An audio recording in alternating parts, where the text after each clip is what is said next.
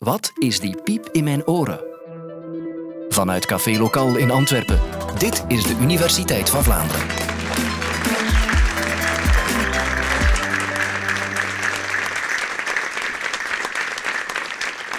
Je hebt het waarschijnlijk wel al eens meegemaakt. Een avondje uit geweest en de volgende dag heb je een piep in je oren. Of misschien ga je nooit uit en lig je plots in je bed en beginnen je oren te suizen.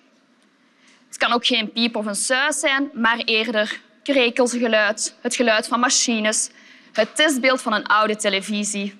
Nu, al die geluiden die je hoort en die niet in de omgeving aanwezig zijn, noemen wij tinnitus of ook wel oorsuizen. Het is eigenlijk een heel natuurlijk fenomeen dat ook gebeurt wanneer je in een hele, hele stille ruimte wordt geplaatst. Of gedurende de dag hoor je plots een piep opkomen en na enkele seconden verdwijnt die terug. Ook dat ervaren vele mensen dagelijks. Maar waarom horen sommige mensen die piep dan dag in dag uit, van s morgens tot s avonds? Wel, daarvoor moet ik jullie even terugkatapulteren in de tijd naar jullie lessen biologie. Want hoe werkt het oor nu ook alweer? De oorschelp van ons oor die vangt geluid op. En geluid zijn trillingen in de lucht en die worden via de gehoorgang doorgestuurd tot aan het trommelvlies. Het trommelvlies is een heel flinterdun vliesje dat samen met de gehoorbeentjes het geluid gaat versterken en doorgeven aan de cochlea, of ook wel slakkenhuis genoemd, omwille van zijn vorm. En in die cochlea zitten vele haarcelletjes. En die haarcellen die zetten het geluid om in elektrische pulsen. En die elektrische pulsen worden via de gehoorzenuw doorgestuurd naar onze hersenen. En het is pas als die elektrische pulsjes in de hersenen aankomen dat we het geluid gaan horen. Maar wat is er nu zo kwetsbaar aan ons oor? Wel, dat zijn die haarcellen die we zo nodig hebben om het geluid tot in de hersenen te brengen. Normaal hebben we tienduizenden van zo'n haarcellen. Maar worden we een dagje ouder of ga je ze vaak in luid lawaai staan, wel, dan kunnen die beschadigd geraken of zelfs afbreken. En dan herstellen die niet meer zo gemakkelijk. Denk maar aan een ontploffing. Dan worden die haarcelletjes weggewaaid, zoals bij de ontploffingen op Zaventem. Dat is natuurlijk een heel extreme situatie. In het dagdagelijkse leven gaan we dit meer voor hebben als we langdurig aan een heel luid lawaai worden blootgesteld. Bijvoorbeeld, komt er een ambulance voorbij, dat is zo kort, dat is wel luid, maar dat is zo kort dat de kans op schade daar minimaal is. Maar ga je naar een festival waar je dag in dag uit naar luide muziek luistert, wel, dan is gehoorbescherming toch niet zo'n overbodige luxe. En sommigen zeggen dan tegen mij, ja, maar ik heb wel af en toe die piep, maar die gaat dan wel direct terug weg. Wel, dan heb je geluk gehad en dan waren die haarcelletjes weer krachtig genoeg om te herstellen. Maar ga je je vaak aan luid lawaai blootstellen, dan zijn die niet meer zo veerkrachtig en dan gaan die misschien niet meer herstellen en dan blijft het gepiep. Nu, hoe leidt die beschadiging van die haarcelletjes dan tot tinnitus? Als die haarcelletjes niet meer alle elektrische pulsen doorgeven tot in de hersenen, merken onze hersenen dat op. Die merken er komt minder geluid binnen, dus ze gaan maar zelf het geluid verzinnen. En dat is de tinnitus, een overcompensatie van onze hersenen. Je kan het ook vergelijken met fantoompijnen, waarbij iemand een been niet meer heeft en toch pijn voelt in dat been. Omdat ook daar de hersenen missen van ah, oei, we krijgen geen informatie meer vanuit dat been en maar zelf die informatie gaan verzinnen. Vandaar dat tinnitus ook vaak fantoomgeluid wordt genoemd. Bij sommige personen is zelfs een minimale schade aan die haarcellen voldoende om tot tinnitus te leiden. En dan denken jullie misschien, ja, maar waarom is dat dan dat hoge piep? Waarom is dat altijd dat hoge piep dat we horen? Dat is omdat gehoorschade het vaakst voorkomt in de hoge tonen. Want de haarcellen in het slakkenhuis van ons oor, die instaan voor de hoge tonen, die zitten aan de buitenkant. En die worden daardoor sneller beschadigd dan bijvoorbeeld de lage tonen. Dus ouderdom, slechthorendheid, lawaai, slechthorendheid, dat is voornamelijk verlies in de hoge tonen. En dus onze hersenen missen die hoge tonen, ze horen die niet meer, dus gaan ze zelf maar een hoog gepiep aanmaken. U hoort in de media dat wel eens geregeld passeren, tinnitus, oorsuizen. Maar komt dat dan wel degelijk zoveel voor? Jammer genoeg wel. 15 op 100 volwassenen heeft tinnitus. Dat is toch behoorlijk veel. Nu, gelukkig heeft niet iedereen daar veel last van. Drie van die 15 personen die gaat naar een dokter op zoek naar een behandeling. Nu, waarom dan niet iedereen er evenveel last van heeft, daarvoor dien ik best even uit te leggen wat het verschil is tussen acute tinnitus, plotse tinnitus en chronische tinnitus, langdurige tinnitus. Acute tinnitus is bijvoorbeeld als je te lang in een luid lawaai hebt gestaan en de volgende dag opstaat met een piep en die piep verdwijnt niet. Wel, in die eerste dagen, in de eerste weken, kan getracht worden met medicatie die haarcelletjes nog te herstellen. Dat is dan ook een reden om met spoed naar een neus of naar een ziekenhuis te gaan. Maar als dat niet gebeurt en die haarcellen blijven beschadigd, dan kan die tinnitus chronisch worden. En dan kan er een vicieuze cirkel optreden in de hersenen. Wat is die vicieuze cirkel? Wel, als mensen voor de eerste keer het oorsuis of de tinnitus horen, dan krijgen ze vaak meteen negatieve gedachten. Ze hebben in de media al negatieve verhalen gehoord over tinnitus en denken, nu heb ik dat ook. Wat nu? En dan denken die hersenen, ah, dat is blijkbaar iets belangrijk. We moeten dat meer in de bewuste aandacht van die persoon brengen, want die vindt dat een belangrijk geluid. Die moet dat constant kunnen horen. En dat heeft dan weer een impact op het dagdagelijkse leven van die persoon. Vele patiënten met tinnitus gaan in het dagdagelijkse leven situaties gaan vermijden met veel lawaai uit angst om hun tinnitus erger te maken. Of het ondermijnt hun mentale kracht.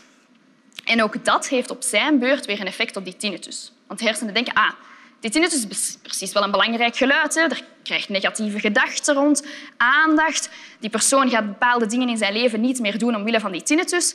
Dat zal wel iets belangrijks zijn, weet je wat? We sturen dat nog wat sterker door.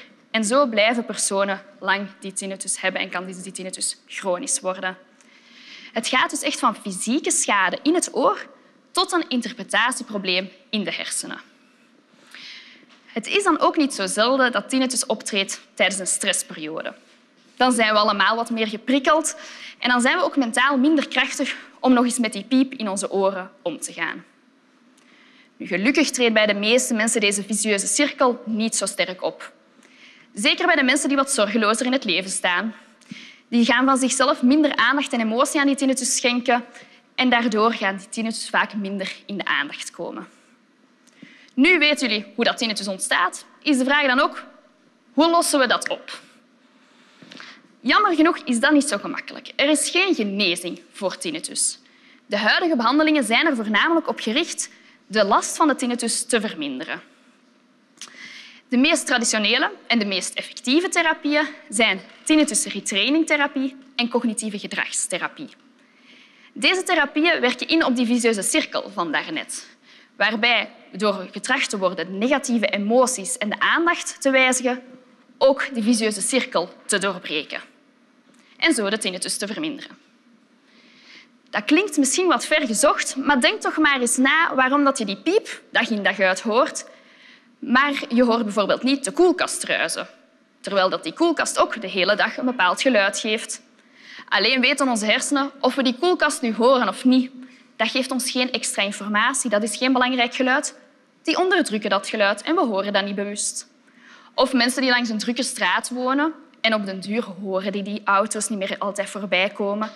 Ook omdat ze weten, ah, die auto's gaan niet plots door mijn huis rijden, ik mag daar gerust in zijn. En die gaan dat op den duur nog niet meer zoveel horen. En toch is er altijd wel iemand die zegt, ja, maar ik woon naast zo'n drukke straat en ik hoor nog altijd die auto's elke dag voorbij rijden. Hoor. Dat zijn vaak ook de mensen die er heel veel aandacht en emoties aan schenken. Die zich erin frustreren en het verkeer wordt ook alleen maar drukker en drukker. En daardoor blijven dat verkeer en die auto's in de aandacht komen.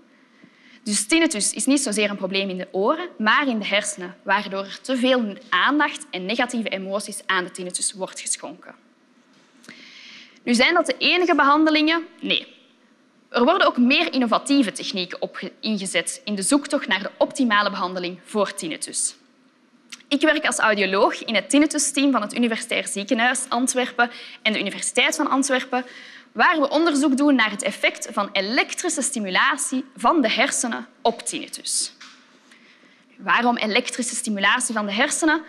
Wel omdat bij patiënten met oorsuizen een overactiviteit is in die hersenen. Er zijn heel veel hersenregio's constant bezig met die tinnitus in de aandacht te houden. De aandachtsregio, de emotionele regio en ook de geluidsregio in de hersenen. En met die lage stroom willen we die, die overactiviteit in de hersenen gaan verminderen. Concreet komen patiënten meermaals naar het ziekenhuis voor een korte sessie elektrische stroom die via deze kleine elektroden aan de hersenen wordt gegeven. Nu, geen zorgen, dat zijn geen elektrische schokken. We zetten mensen niet op een elektrische stoel. Patiënten voelen er nauwelijks iets van. Zo weinig dat ze vaak zelfs argwanend zijn en vragen of we de stimulatie wel hebben aangezet. Iedereen dus maar aan de elektrische stroom. Jammer genoeg is het niet zo eenvoudig. Bij 1 op 3 zien we een vermindering van de tinnitus na elektrische stimulatie. Maar we zijn nog volop bezig deze techniek verder te onderzoeken en te optimaliseren. De meest gestelde vraag van patiënten is dan vaak ook ja, maar waarom is er dan nog geen genezing voor oorsuizen? Dat kan nu toch niet zo moeilijk zijn. Snijd dus nooit een stukje uit mijn hersenen, dan ben ik er vanaf. Onderzoekers over de hele wereld zijn er elke dag naar op zoek, maar het is jammer genoeg niet zo eenvoudig. Elke tinnituspatiënt is anders. De ene heeft tinnitus gekregen na een concert zonder oordoppen. De andere heeft tinnitus gekregen na stressperiode. De ene hoort die piep, de andere een geruis. En ook de bijkomende problemen die patiënten ervaren verschillen heel erg. Sommige mensen kunnen moeilijker in of doorslapen door het oorsuizen of hebben concentratieproblemen. Kortom, individualisering is van belangrijk. En de therapieën verschillen dan ook van hoortoestellen tot counseling, tot elektrische stroom enzovoort. De vraag is dan ook of er ooit een behandeling zal zijn die voor iedereen werkt. Daar heb ik mijn twijfels over. Dus die piep die je in je oren hoort, zit eigenlijk niet in je oren, maar in je hersenen. Waarbij de hersenen reageren op een tekort aan binnenkomend geluid door gehoorschade. En dat gebeurt omdat er een visieuze cirkel optreedt in de hersenen die die tinnitus constant in de aandacht houdt. En dat is natuurlijk wat we niet willen, maar zoals jullie nu weten is het niet zo gemakkelijk om die visieuze cirkel te doorbreken. Voorkomen van tinnitus is dat echter wel waarbij ten eerste een welgebalanceerde levensstijl nooit kwaad kan, maar zeker niet in het geval van tinnitus, aangezien stress een grote rol speelt in het ontstaan en in het onderhouden van dit symptoom. Maar tenslotte kan het belang van gehoorbescherming nooit voldoende benadrukt worden. Want geloof me, je wilt echt niet dat die piep constant in je oren zit. Dus ga je naar een concert, vuif of festival, of ga je aan de slag met je slijpschijf, gebruik dan oordoppen. En liefst op maat want zo voorkom je die piep in je oren.